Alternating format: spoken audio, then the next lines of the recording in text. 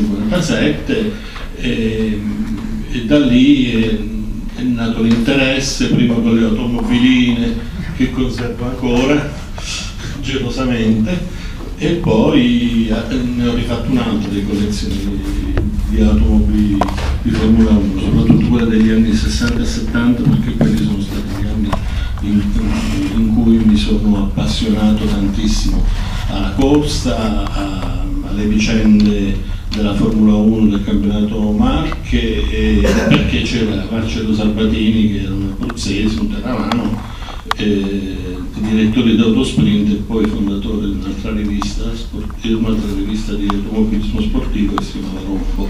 Adesso il figlio è direttore di Autosprint che resta un po' la Bibbia della, diciamo così, dell'attualità sportiva in automobile.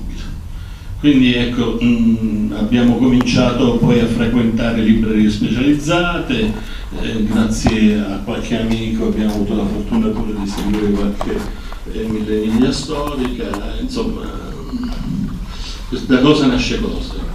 E la, la, Formula 1 è sempre stata nei nostri pensieri, poi io ho cominciato l'attività giornalistica e, e mi, sono, e, mi, sono, innamorato di, di, tutta una serie di storie, ho, ho lavorato per 12-13 anni alle pagine sportive del centro e la mia prima intervista è stata a Marco Pantani e da lì è cominciato un interesse per il ciclismo, poi ci sono tante storie che si intrecciano, per esempio la, il collaboratore di Enzo Ferrari, eh, Ugo Sivocci, aveva un fratello che faceva il, il, il corridore ciclista, che si chiama Alfredo e l'ironia della sorte quando smise di di, di, correre in bicicletta divenne direttore sportivo dell'Atala e fu il primo direttore sportivo di Vito Taccone, quindi storie di, di, di ciclismo e automobilismo che si intrecciano, ce ne sono tantissime. Quindi rincorrendo queste storie piano piano abbiamo come dire, eh, approfondito le, le, le varie vicende che c'erano più vicine, insomma abbiamo scoperto che il Nuvolari aveva tantissimi amici a Pescara, per esempio abbiamo scoperto che eh, l'Hotel Palace era il centro della movida, cioè che è cominciata, se vogliamo, questa, vita notturna anche grazie alla, alla corsa, insomma, eh, un'abitudine che poi si è ripresa nei, alla fine degli anni 60 quando è sorto il Festival del Jazz. Ecco. Quindi da, da, questa serie di, di, di aneddoti è venuta fuori poi la voglia di di metterli giù, addirittura ce ne sono alcuni che, che non sono entrati nel libro perché non avevamo ancora assorbiti, non, non, non, non li conoscevamo, non, è escluso che c'è la volontà di farne un altro di libro sulle vicende del dopoguerra che in qualche misura dobbiamo recuperarle perché sono troppo belle, sono troppo interessanti. Allora, applauso Paolo Smallica, aspettiamo magari anche il libro nuovo, però nel frattempo leggiamoci questo. Allora, Francesco Santuccione, una passione in comune per le auto che vi ha portato alla stesura di questo volume. La domanda che, che, ribadisco anche con te è questa, ma come avete fatto ad avere tutte queste informazioni? Dove le avete prese? Dove avete attinto? Dai giornali, dalle testimonianze dirette degli ultimi sopravvissuti. Eh, dalla collaborazione con l'Automobile Club. Io ero amico eh, di, lunga data per, con il vecchio direttore dell'Automobile Club Pescara, Mario Rutolo, con il quale addirittura avevo anche corso la mia prima corsa in volante d'argento, ma già avevo 18 anni. Avevo corso a Chieti e fra parentesi avevo anche vinto. Con le lanciate... Non dire sommessamente. Eh, un applauso? Ti facciamo un applauso, vai. Mi, dispiace che non c'è il presidente dell'Old Motor, eh, perché lui, anche lui eh, ha una lancia Ardea, quattro marce, io ho corso con la 5 marce, comunque va bene, vecchi, vecchi tempi. Poi eh, ho cominciato con il giocare a Francavilla, facevamo ragazzi il circuito di sabbia eh, io avevo una pallina rossa, non lo sapevo, ma era il rosso dell'Alfa dell Romeo e poi era sarebbe diventato il rosso della Ferrari e siccome sono un ferrarista nato eccomi qua a Paolo, Paolo mi guarda storto No, no, no. Paolo, un destino nella pallina, cioè era già il colore nella pallina. Di solito il destino è nel nome, invece in questo caso. Si vendevano, Aspetta che si vendevano le palline con, con le immagini dei, dei- dei- piloti, No, me io l'hanno ai raccontato. piloti- io ai piloti non ci sono arrivato Eh. io ero rosso, bianco, argento Tu sei più giovane della persona che me l'ha detto, ecco perché forse. e chi te l'ha detto? Tu sarebbe Vabbè, lasciamo stare. No, volevo solo aggiungere una cosa. Ehm, Questa passione eh, è andata di pari passo con, eh, con la convinzione che poi questa città non era poi così marginale, nonostante fosse così piccola, eh, anzi eh, avesse un, un posto molto importante nella, nella almeno nella storia automobilistica, non solo per eh, diciamo così, per le mutazioni che ha avuto anche grazie alla corsa a- automobilistica, ma anche perché addirittura una macchina prende il nome di, di Pescara, un modello dell'Alfa Romeo che vinse qui nel 34, la 24 ore, e per fare quella 24 ore si costruì il lungomare da, da via Cavour a Montesilvano, quindi eh, ha inciso fortemente anche nella, nella nascita e nel- nello sviluppo della città. Il primo, mh, nella prima edizione eh, la gente veniva portata col treno in- eh, alle tribune in, in corso Vittorio, eh, in, in, pia- in piazza Duca degli Abruzzi, perché non c'erano le strade. Quindi pensiamo un po' a, a che importanza ha avuto per, per la città tutto questo. È arrivato anche il volume, ve lo faccio vedere, magari molti di voi lo avranno già visto. Questo è il circuito di Pescara, scritto a quattro mani da Francesco Santuccione e Paolo Smoglica. Devo dire la cosa che eh, da una lettura veloce mi ha davvero colpita è la vastità anche di fotografie che avete reperito so, fuori dall'Italia, vero? Sì, de- de- buona parte delle, delle foto le abbiamo reperite in Inghilterra. Si sa che l'Inghilterra è un po' la mecca dell'automobilismo perché c'è veramente un culto esagerato per l'automobile sportiva e tramite un, un, eh, giornalista inglese riuscimmo a- ad avere delle foto di un fotografo americano, Robert Fellows, che per due volte negli anni 30 venne a Pescara a seguire la corsa, furono gli anni ehm, del dominio tedesco, insomma gli anni del fulgore, gli anni migliori della, della Coppa Cervo. Federico Orletti dell'Associazione Prima Pescara voleva fare qualche domanda a voi autori.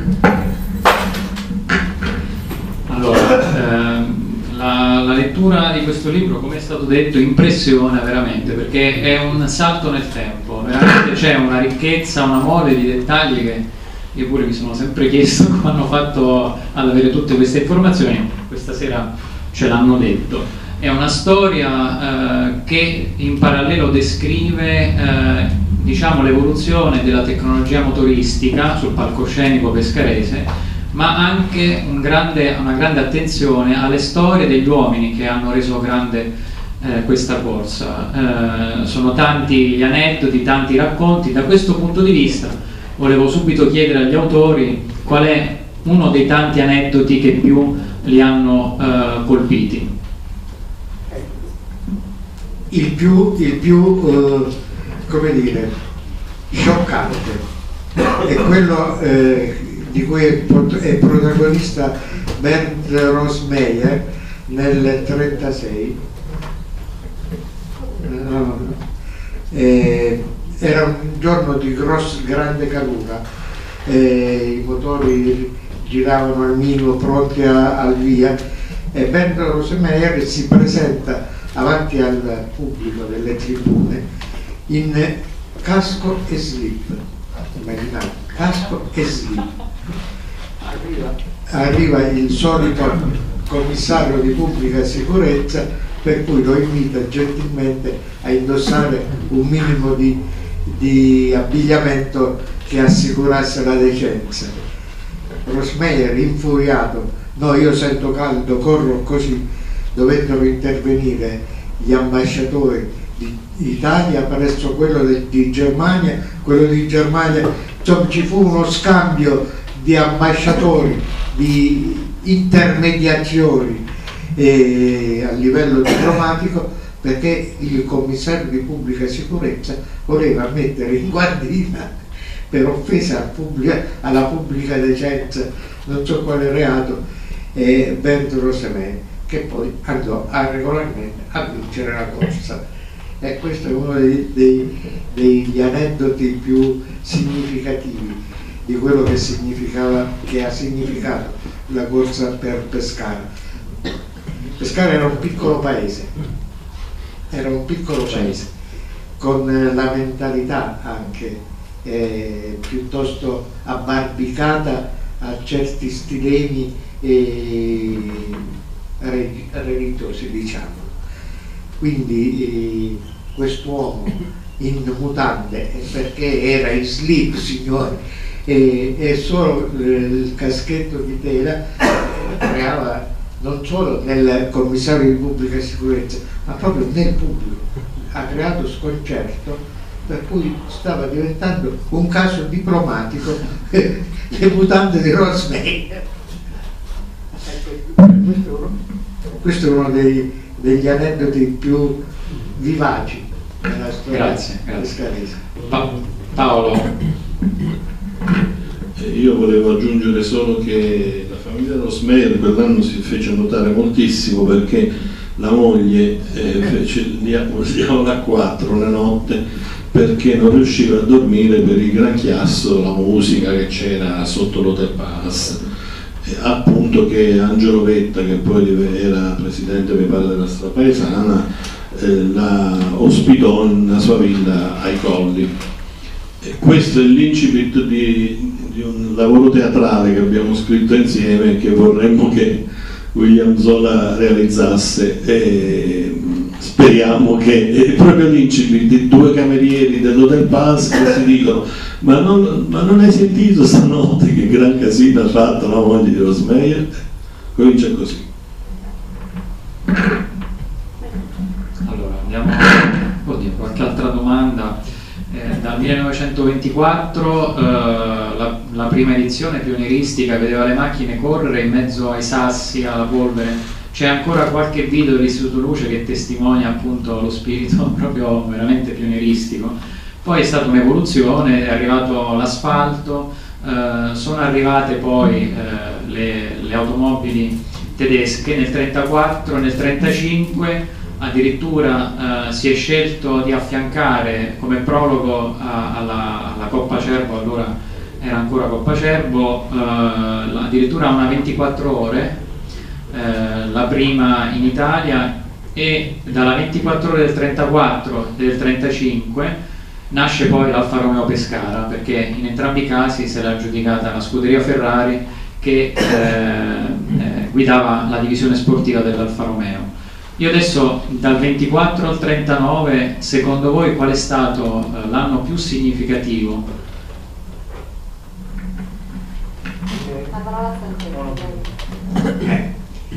Eh, l'anno più significativo tecnicamente è senz'altro, senz'altro nel 1934 quando per la prima volta Mercedes ed Auto Union cioè le eh, industrie eh, di punta della Germania si sono incontrate vis-à-vis scontrate eh, per la prima volta a Pescara fuori del, del, della Germania avevano avuto due altri episodi uno eh, in, a Molleri in Francia un altro non ricordo su quale altro circuito, ma due ne avevano avuti di incontri e avevano, non erano arrivate nessuna delle due squadre al fine gara. La prima gara fuori dai confini tedeschi è stata la Coppa Cervo del 1934 in cui sia l'una che l'altra marca sono arrivate al termine, al termine della gara e quella è sotto, sotto questo aspetto. Poi però c'è un'altra curiosità. Nel 1932 eh, ben, ben, eh, scusa, Alfred Neubauer, eh, eh, Manfred von Brauchich eh, Stuck sono venuti a correre con vetture loro fornite, eh, vetture Alfa Romeo fornite eh, da, da, non so chi, a, a correre, sono venuti a correre a Pescara in avanscoperta. E altri due piloti invece sono venuti con le Mercedes SSK, quelle enormi, grosse, che hanno dei tubi di scarico mastodontici all'esterno e hanno testato le difficoltà del circuito pescarese alle quali si dovevano far fronte le vetture dell'industria tedesca, Auto Union e Mercedes. Sono trascorsi due anni. E ancora di più dirò che il famoso Nürburgring, quello classico, non quello di Tilke, sono, eh, sono state, è stato copiato parecchia, eh, parecchie particolarità del circuito di Pescara riportate proprio ex abrupto sul circuito tedesco, comprese le siepi di Posso che facevano da no, facevano una, trattenevano le, le vetture in uscita di strada. Questi sono, sono, i miei ricordi e, mie, e i miei appunti tecnici. Io invece volevo solo aggiungere che per me l'anno fatidico era il 33 eh, perché mh, Nuvolari non corre con la, con la, l'Alfa Romeo con la quale aveva vinto l'anno prima entusiasmando il pubblico ma corre improvvisamente con una Maserati dopo aver corso fino a maggio con, con l'Alfa Romeo c'è tutta una storia dietro che adesso non vi dico che abbiamo scoperto dopo aver scritto il libro. L'unica cosa che vi posso dire è che un ragazzo di Pescara eh, Giorgio Calanca scrisse a, a, a, Nuvolari chiedendogli ma perché vieni a correre con la Maserati e non vieni più con, con l'Alfa Romeo vieni a casa che mamma è una mantovana e vuole, vuole farti le tagliatelle come alla mantovana, insomma. Questo, eh, questa lettera è finita nel dimenticatoio, non ha mai ricevuto risposta questo bambino, fino a quando negli anni 90 Cesare De Agostini, che è il biografo, possiamo dire ufficiale, di Nuvolari, in un suo libro tira fuori questa lettera e nella, una delle curiosità che ci ha portato poi a, a scoprire i particolari del, di questa storia è che questo Giorgio Calanca l'abbiamo ritrovato. Giorgio Calanca è, è un ingegnere, adesso è un anziano signore eh, che ha più o meno l'età di Cecco e vive a Milano, era, è stato ingegnere della mi ha dato dell'anziano della, della Mondadori. Lei cosa da dire signor Carabuso? ho detto zitto becca dell'anziano signore lascia perdere ha fondato e colpito è un complimento. E, ehm, è stato dicevo ingegnere della, è, è stato ingegnere della Mondadori ha costruito più o meno tutte le cartiere Mondadori fino agli anni 90, è, stato un collaboratore di eh, Niemeyer, l'Archistar che, che, ha fatto poi la sede della Mondadori, eh, quella con gli archi, con le piscine, eccetera, eccetera. A questo punto chiamiamo anche Zola a intervenire un attimo, raggiungici. Perché abbiamo sentito che c'è un progetto teatrale, vorremmo saperne qualcosa di più se possibile un'invasione un'invasione di campo buonasera. Non era prevista questo comunque ehm, sì io tanto voglio dire una cosa che eh,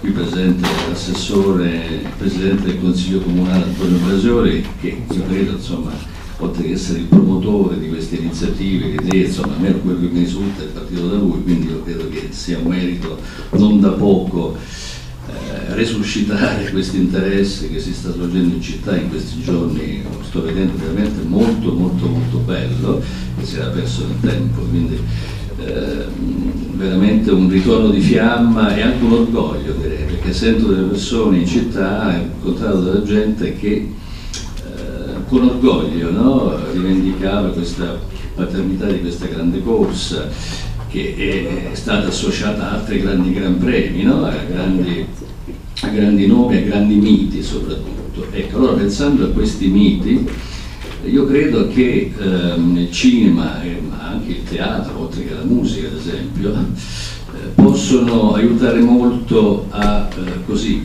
far avvicinare innanzitutto quelli che eh, non hanno né assistito come me alla, a nessuna gara, ehm, nemmeno, nemmeno non c'era la te televisione, quindi i programmi televisivi eh, sono scattati in Italia alla fine degli anni 50, prima anni 60, quindi addirittura insomma in bianco e nero, non sono canale, quindi era difficile vedere no, delle, delle, dei, dei, programmi sportivi con, con grandi circuiti, grandi gran. Quindi questa memoria storica può essere risuscitata a mio avviso molto, molto bene con um, un lavoro che può sintetizzare, ecco, scegliendo, ad esempio già, abbiamo già un canovaccio eh, su questa um, bellissima storia, su questa bellissima avventura che Francesco e Paolo hanno, mi hanno dato, io lo sto uh, studiando, ci sto um, lavorando e credo che si possa tirare fuori veramente un affresco bellissimo eh,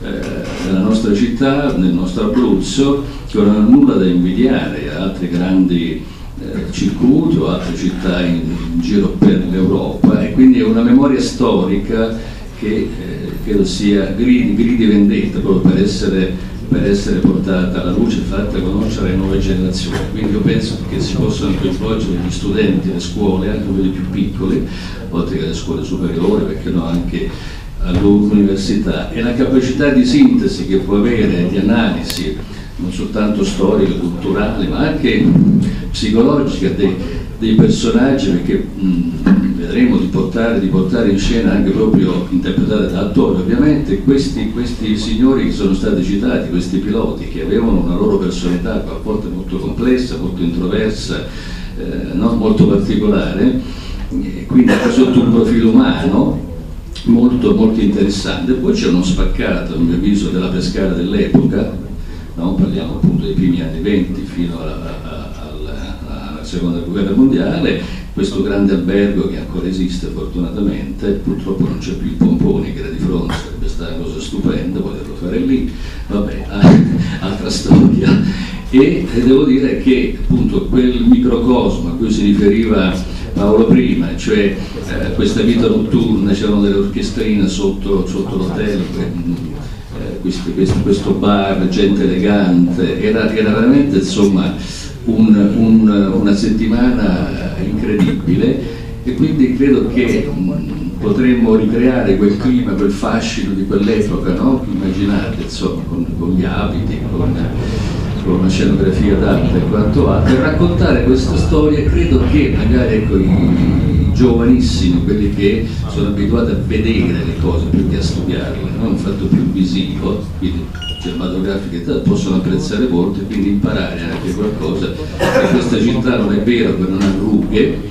eh, ha anche le sue rughe, una sua storia eh, incredibile che parte da Ostia Terni, quindi insomma mi fermo qui perché avete capito insomma, che è un progetto molto bello, molto ambizioso, speriamo di riuscire a farlo per il prossimo anno e, e, e fin da adesso siete invitati ad assistervi. Grazie. Grazie William Zola, io vorrei a questo punto, visto che abbiamo ancora un po' di tempo, ehm, fare una domanda a Francesco Santuccione. Oggi ho visto una grande emozione in te quando abbiamo, ci siamo fermati davanti alla curva dedicata a Guimol. E, sappiamo, abbiamo avuto occasione di parlare con te già in altre occasioni, però magari molti di, di questi dei presenti attuali non c'erano. Io vorrei un tuo ricordo, qualcosa proprio di personale, dal tuo archivio eh, diciamo del cuore, un ricordo su questo circuito di Pescara che arrivi dal cuore è sintomatico, eh, qualcuno già l'ha riportato. Io la prima corsa automobilistica cui ho, assistito è stato il Gran Premio Pescara del 1948, quando ha vinto Alberto Ascari. avrei dovuto vedere anche l'edizione del 47 e mio padre, medico, che di automobilismo non ne capiva niente eh, e neanche lo vedeva con, molto, con molta disponibilità, per non dire di buon occhio, la mia latente passione, latente per modo di dire, eh, passione automobilistica, mi aveva promesso che avrebbe, mi avrebbe mandato, eh, mi avrebbe prestato la sua automobile per portarmi al bivio, al bivio di Villa Raspa, perché io abitavo a Cepagatti, dovevo venire da Cepagatti a pescare e fermarmi al bivio di Villa Raspa dove c'era il blocco dei, dei transiti. Se non che durante la notte mi scoppiò un febbrone da cavallo. Mio padre, medico, se ne accorse al volo e disse, tanto tu non vai da nessuna parte. Bene, alle 9 del mattino io non avevo più febbre. Mia madre venne per consolarmi, eccoti 50.000 lire, io ero sul balcone eh, di, del, della sala da pranzo che dava sul, su Chieti, presi queste 50.000, immaginatevi che rabbia, presi queste le feci a pezzi a coriandoli e li buttai dalla finestra. E fu tale e tanta la delusione la, la rabbia eh, che 50 mila parlo del 47 50 mila lire erano soldi per un ragazzo. Eh, e la mia reazione fu quella. Ecco. così ti ho, ti ho, risposto credo. No distinto è una sì. risposta che ci piace. Eh sì, è la verità è la verità. Federico, vuoi fare una Sì, allora, eh, un'altra cosa che mm, volevo chiedere agli autori, eh, la corsa eh, nel 61 eh, non era più Coppa Cervo ma Circuito di Pescara e ha avuto la sua ultima edizione. Eh, leggendo, sfogliando il libro, oltre alla telecronaca delle corse dal 24 al 39 ci sono, c'è tanto altro materiale, in particolare ne ha colpito eh, il progetto del nuovo circuito, Pescara quindi si stava già organizzando per un, per un circuito automobilistico visto che eh, non era più possibile correre su strada, che cosa è successo? Vorrei chiedere agli autori che poi ha fatto un po' spegnere tutto. Sono, sono due momenti differenti. Nel 61 eh, l'esplosione edilizia e demografica della zona ha fatto sì che non si potesse più correre su un circuito cittadino anche sull'onda de, dell'opinione pubblica nazionale che condannava questo tipo di, eh, di, di, di, circuiti sulla scorta di tragedie veramente enormi eh, alle Man, alla Mille Miglia del 57, non è vero che non si è corsa più dopo il 57 Davide Miglia. Invece nel 1938 c'era un, un, faraonico progetto che se fosse andato in porto probabilmente per l'ennesima volta avrebbe cambiato la faccia della città, anche se a vederla ora è entusiasmante, ma credo di difficile fattura, nel senso che il percorso veniva tagliata tutta la parte di via Le Bovio, via Michelangelo, via, de, via Ferrari, via del Circuito e Villa Raspa. E si saliva da Salita Zanni, quindi da, dalla seconda variante, quella più vicina alla, alle tribune, e si saliva praticamente in cima a Salita Zanni, si discendeva più o meno dove adesso c'è quell'enorme deposito dell'acqua, dell'ACA e, e, si riscendeva alle case PEP. Dove adesso ci sono le case PEP doveva sorgere un, uh, un'enorme tribuna in cemento armato con i cronometristi sulla, eh, proprio sul, su, sulla strada e il percorso doveva proseguire dove ci sono adesso le case Gescal, poi giù verso la VEMAC, la motorizzazione e, re, e ricongiungersi col vecchio circuito, cioè Villa Montani, all'altezza di Villa Montani. Poi la guerra naturalmente ha, bloccato tutto e immagino cosa sarebbe successo se avessero fatto delle, delle tribune fisse in via del santuario. Pro, probabilmente la, la, geografia della città sarebbe stata sconvolta, insomma, non ci si poneva assolutamente il problema che le città potevano crescere, potevano eh, sorgere nuovi palazzi e quindi frenare un po' questa, questa voglia di, di, di, velocità dentro la città. Circuiti stradali ce ne sono ancora, per esempio in America ci corrono, ci corrono la Formula Indy, però parte Monte Carlo e qualche ibrido ormai non si può più correre su strada. Bene, grazie. Allora adesso invito Paolo Smoglica, Francesco Santuccione e l'editore della Cassandra a raggiungermi perché vi consegniamo una targa di ringraziamento e procediamo velocemente a consegnare anche le altre targhe. Forza, se me le portate le diamo. Vieni Paolo, vieni Francesco, raggiungimi. Vieni, vieni. Allora, per il vostro impegno, per aver partecipato a questa, a questa impresa, insomma, di, di di dare vita a un'iniziativa così importante. Dobbiamo ringraziare l'associazione Prima Pescara, poi lo faremo nelle, loro, nelle varie persone che rappresentano l'associazione. Invece a voi che siete stati gli autori del libro, una targa ricordo, magari apriamola così la facciamo vedere, a Francesco Santuccione, Paolo Smoglica e signor Felicioni che non ricordo il nome, vediamola. Forza. Eccola qua non so se c'è qualche fotografo o fa qualche fotografia, eccoli qua, sono loro. Grazie, grazie di nuovo. Allora, a questo punto io però scendo così è un po' più facile per tutti. Uh, ringraziamo intanto i patrocinanti dell'iniziativa, a cominciare dal Comune di Pescara nella persona ci raggiunga, ci raggiunga il Presidente Antonio Blasioni, al quale diamo una targa e vorrei al mio fianco anche a questo punto, visto che ci siamo, qualcuno che rappresenti la città di Montesilvano, non so chi c'è, la città di Sportore, qualcuno che rappresenti il comune di Cappelle e la soprintendenza archivistica d'Abruzzo. Allora, una targa a ciascuno, benvenuti. Comune di Sportore, la, ecco qua la do io, alla dottoressa Spinozzi un'altra targa?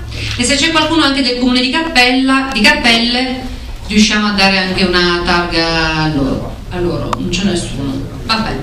Allora io approfitto qui Presidente velocemente visto che so che insomma, è anche un po' in ritardo l'abbiamo fatto aspettare.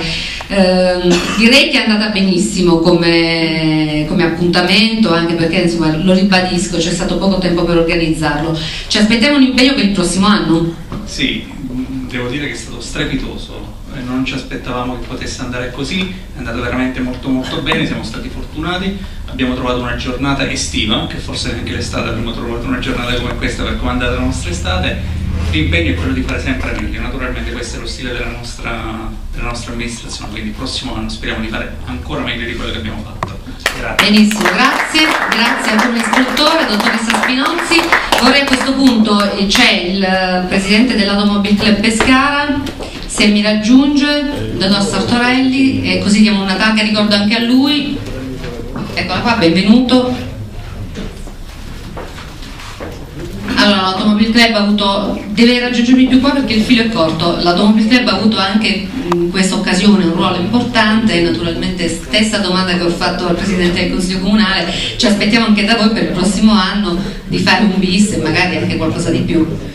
Ma intanto no, vorrei ridimensionare un po', l'Automobile Club non ha avuto un ruolo importante, io sono grato al Presidente Blasioli a cui sono legato da vecchia amicizia, ma soprattutto ai ragazzi dell'associazione che veramente devono avere il plauso di tutta la città ma anche delle altre cittadine coinvolte in questa, in questa bella riedizione perché poi sono stati loro il motore. Io penso che hanno affrontato delle sfide difficilissime e forse quella di oggi per loro è stata la più difficile, ve lo dice uno che organizza gare da tanti anni ed è la cosa più, veramente più difficile mettere insieme le macchine farle, farle partire e seguire un orario e tutto quello che c'è. Quindi siete stati veramente bravissimi penso che questa, cosa, questa manifestazione dovrà essere ripetuta. L'impegno del comune c'è, l'impegno nostro c'è già da adesso Spero che tutta la città voglia partecipare anche nelle prossime edizioni perché riportiamo il nome di Pescara nel mondo, perché è, stata nel mondo Pescara per questa gara e secondo me deve tornarci anche nei prossimi anni nel ricordo, perché sono tante belle manifestazioni che ricordano la storia. Questa è una storia nata prima della città, è una cosa particolarissima, è molto bella, quindi io penso che questa città la meriti, questa manifestazione e faremo di tutto per riportarla ogni anno, magari in agosto o in luglio, non in questo periodo. Grazie a tutti. Grazie, grazie. Allora, ho un elenco lunghissimo di sponsor da ringraziare, quindi vado in velocità, facciamo dei blocchi da 8. Intanto ringraziamo e si possono avvicinare al mio fianco eh, gli sponsor, a cominciare dalla BCC di Cappelle sul Tavo, Mario Rececco, Faieta Moto, Confartigianato, Barbuscia, Emanuele Ricci, Silvi Gombe, Centerbatoro, Luigi D'Amico e Valle Martello. Premiamoli insieme, vediamo chi c'è e così insomma andiamo un po' in velocità.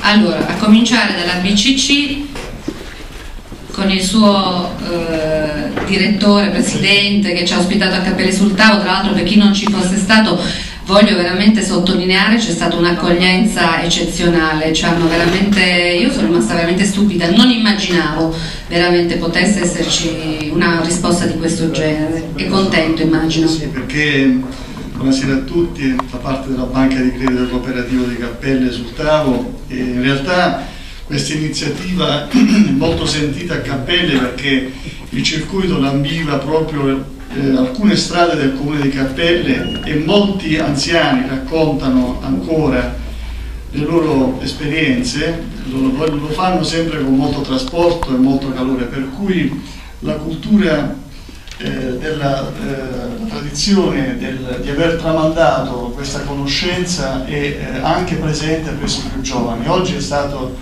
veramente c'è stato un pienone assolutamente inimmaginabile e questo ci ha molto eh, fatto piacere come organizzatori e come sponsor, per cui ringrazio coloro che ci hanno coinvolti, in particolare Ennio Rosini che è qui presente, che è anche socio eh, storico della banca e suo sostenitore a prescindere da quello che poi la banca riesce a fare, però lui ce la mette sempre tutta e un'iniziativa del genere lo ringrazio veramente per averci coinvolto. Grazie a voi e a tutti gli organizzatori. Grazie, grazie anche agli altri sponsor che ci hanno raggiunto. C'è una targa da dare a questo no, signore? No, siete insieme, Confartigianato, De Cecco e gli altri ritireranno magari in futuro. Andiamo avanti, grazie, premiamo anche, insomma diamo una targa ricordo a Il Calanco, Le Terrazze, l'Hotel Esplanade, Berardo, Arlini Gioielli, Capecchi.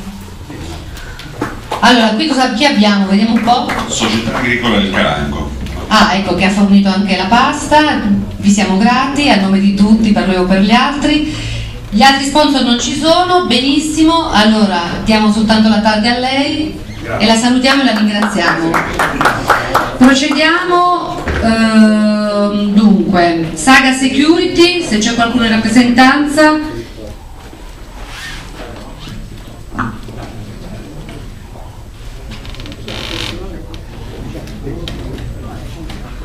Il centro se c'è qualcuno, il bar Arlecchino, la gelateria 490, il tappezziere, Slow Street e Officina Europa.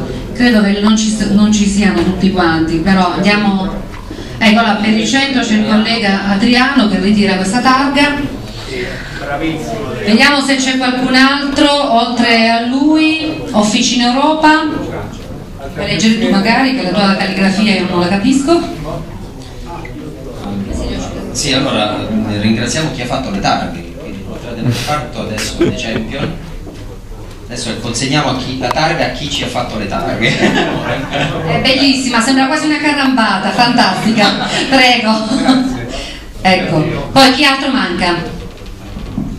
Allora, poi abbiamo eh, Crusart, quindi c'è il grafico, c'è Andrea, non so se c'è Andrea, no, non c'era del grafico che ci ha curato, Best Academy eh, Guerino Dagnese deve essere presente, non c'è, gliela faremo recapitare, Tanning and Beauty, Oriente SPA, Casa Lab c'è Raposelli che può accomodarsi e per quanto riguarda Vittoria Assicurazione c'è il titolare Piero Sideri. Piero Sideri. Grazie a voi, grazie per vederci, grazie Adriano. Adriano che ci segue da una settimana. Sì, Adriano che ci segue da una settimana, ha pubblicato anche degli articoli fatti molto bene, devo dire, su questo evento e continuerà a pubblicare, vero? Senz'altro, io spendo giusto due parole per ringraziare chi mi ha voluto coinvolgere, Costantino Sferrella in testa e spero di vedervi anche l'anno prossimo. Grazie a tutti e un applauso a tutta l'organizzazione. Grazie. grazie anche a Vittoria Assicurazioni. Siamo in chiusura, chi manca? Abbiamo il team Solares che è impegnato sicuramente a, a sistemare le auto. Abbiamo l'autodromo di Ortona, abbiamo di Orio, e, ah, e il socio, del signor Dragani. Poi volevo un ringraziamento particolare per i motociclisti di Old Motors, che non so se c'è qualcuno presente, e i vigili urbani di Pescara, poi magari glielo recapiterai tu perché oggi sono stati fantastici. Allora lo consegniamo. Eh però aspetta, però stai qua perché c'è una targa anche per voi dell'associazione Prima Pescara e per la, il club Old Motors. Allora, queste le vorrei consegnare io se non vi spiace. Forza, su queste? Eh? Tappezziere pure, sulla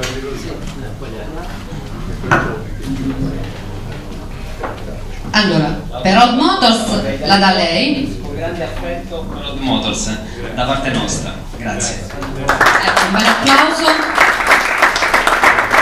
Vieni qua Costantino, vieni adesso chiudiamo. Invece con grande apprezzamento da parte mia per come siete riusciti a organizzare velocemente, in breve tempo e devo dire con grande entusiasmo questo appuntamento in cui forse tu, di cui non tutti erano convinti e invece devo dire è andata alla grande, la risposta del pubblico è stata eccezionale e questo deve essere il più importante riconoscimento per voi, per l'associazione Prima Pescara che ha lavorato tantissimo. Un applauso per voi, bravi! Veramente in chiusura, eh? non c'è altro da dire, vi ringrazio per essere stati con noi, allora appuntamento alla prossima edizione. Arrivederci.